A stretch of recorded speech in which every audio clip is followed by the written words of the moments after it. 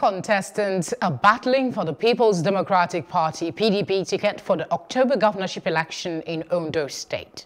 Among the contestants are Deputy Governor Agboola Ajayi, former Ondo State Attorney General and Commissioner for Justice Eyitayo Jegede and more.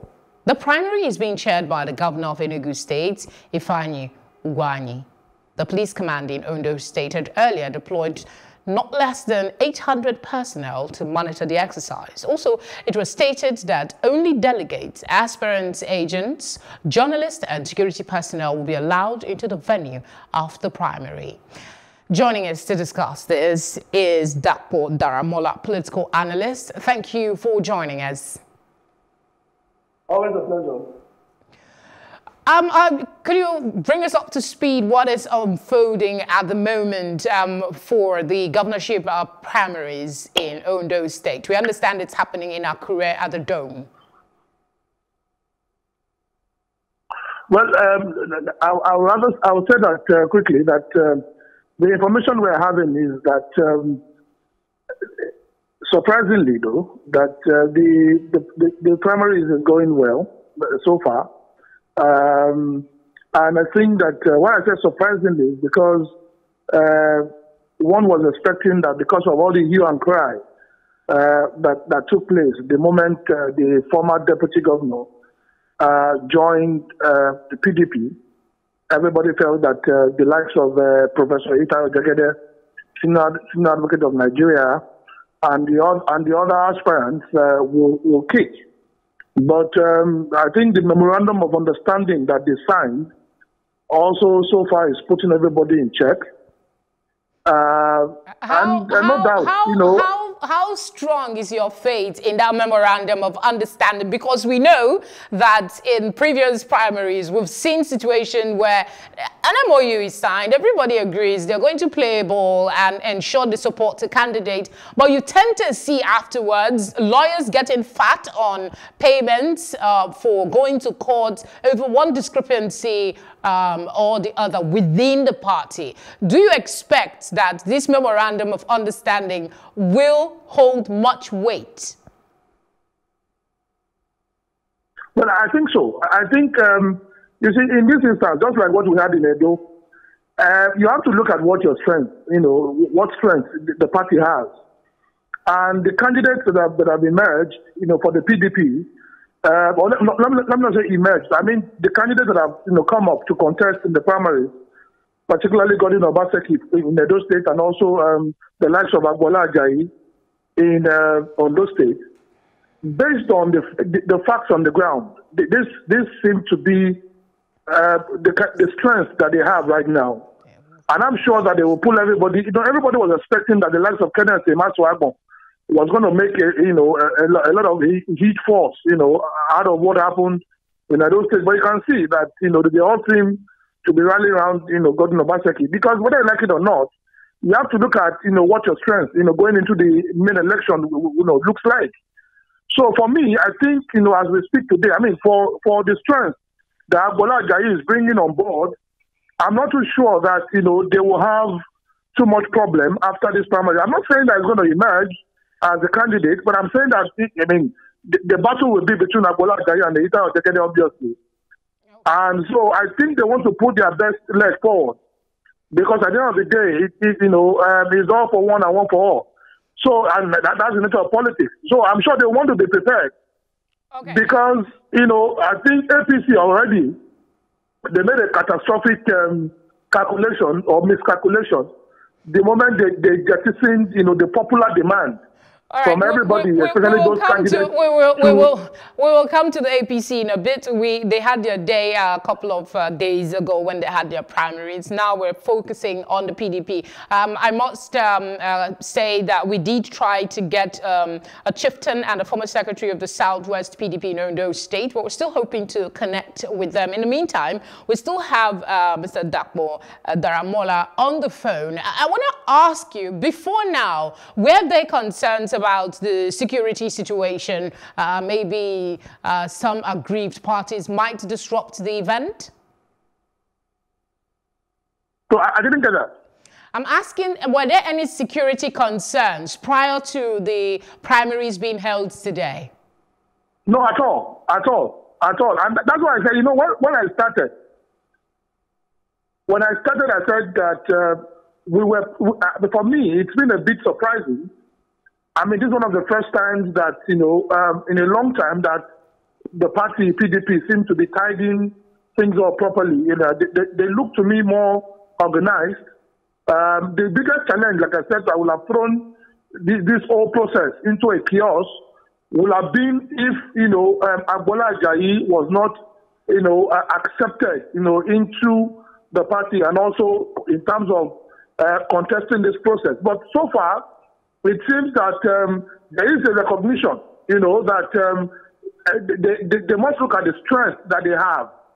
I think that is what everybody seems to be queuing behind.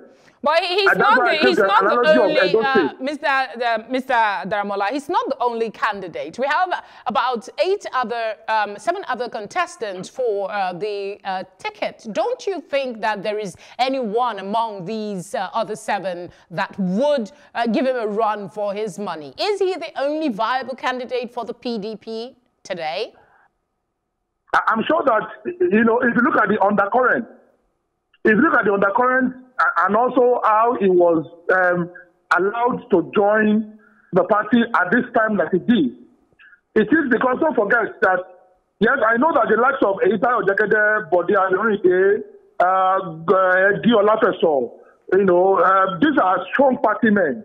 And it's not as if PDP has, uh, they didn't show um, that, that they have capacity, you know, for whatever reason, maybe because of the unpopularity, you know, of arákùnrin Akérédolú because if you cast your mind back to the election last year the presidential election you remember that PDP I mean Atiku won largely in Ondo State.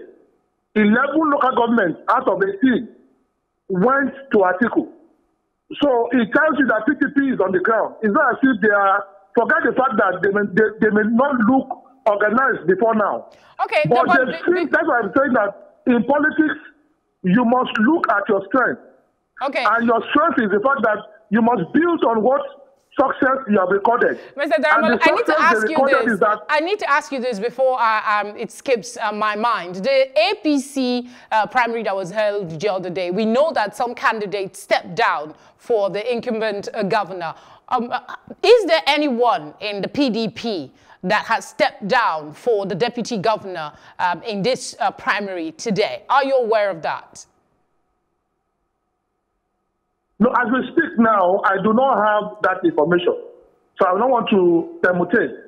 But like you said before, you know, to ride on the question that you, you asked earlier, the, if you look at the strength of the deputy governor, not just because he's deputy governor, but politically, his strength the amount of, if you look at even the, the, the motion that was moved in the House of Assembly to get him impeached, the fact that he has nine loyalists within those party members, you know, that refused to, to, to join the process, and the amount of people, the likes of the, you know, the ex-one uh, secretary to the state government, Honorable Ifedayo Abegunde, who also dumped the APC shortly after the deputy governor left. It tells you, I mean, these are stalwarts, or these were stalwarts within the APC. And for them to have dumped you know, the APC at the time when the deputy governor did, it tells you that you know he has gone into these primaries with a lot of you know a lot of strength. So that's why I said, whilst I understand that there are quite a number of uh, candidates who are equally as strong, I mentioned, you know, the former Attorney General and Commissioner for Justice in uh, in uh, Ondo State, that's the We all know he's pretty strong. Eti Olafeso has been a stalwart of the party over time. He has served the party in many capacities. He is equally a very strong candidate.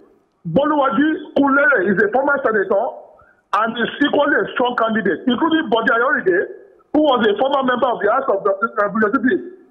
But what I'm saying is that if you look at coming into these primaries, the party, for me, the body language of the party is that yes, the more the merrier, but I think they, they are constituting to the fact that the, the I mean, Agboola Ajayi is bringing much more to the table at a time like this for the PDP. All right, Mr. Daramola, thank you very much uh, for your time and your input uh, on the conversation.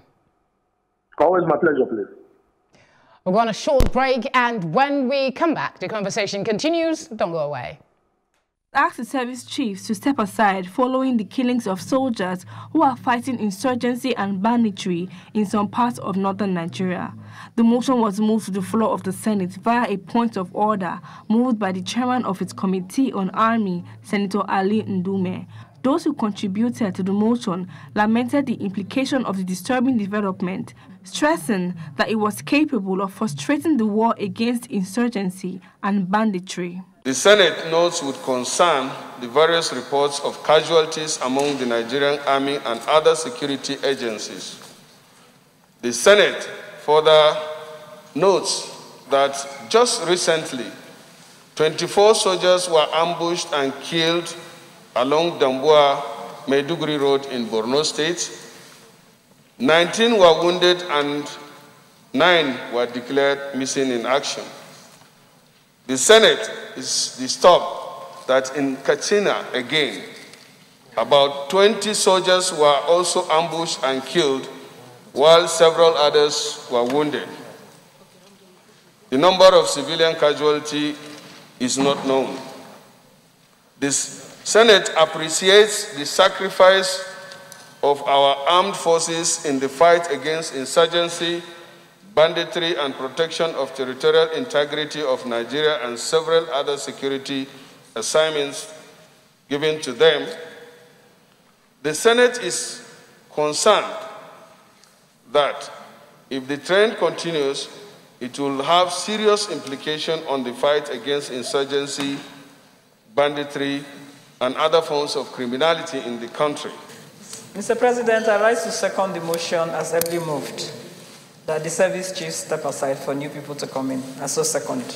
I support this motion and I plead that we do not take things for granted any longer in Nigeria. Because it's gotten the point, I'm sure you're aware, that last week they say some soldiers deserted the army. When it gets to the point where soldiers who are trained to fight and possibly die decide to leave their command, then we have a problem. And I think this is time for us to be more decisive in dealing with this, this situation. Thank you very much, distinguished colleagues.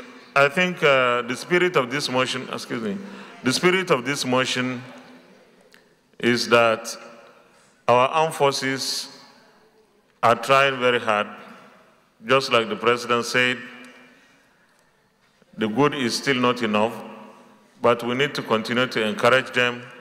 We need to continue to provide for them. We need to continue to provide for them. They lay their lives on behalf of all of us. And of course, it's very sad that some of them are deserting, are alleged to have deserted Dua Front. We need to get to the bottom of this. This, our joint committee, should be able to find out the, uh, the facts about this allegation of over 200 deserting uh, the war front. And of course, uh, those that are dead will observe a minute silence, but let me also convey our condolences uh, to our armed forces and the families of those that have.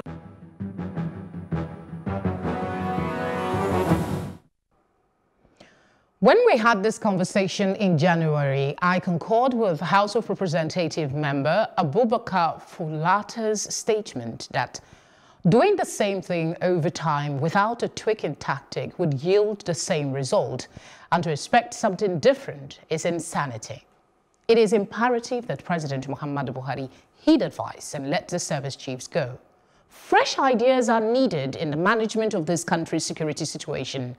Besides that, their resignation or removal will allow for the promotion of other deserving officers in the armed forces.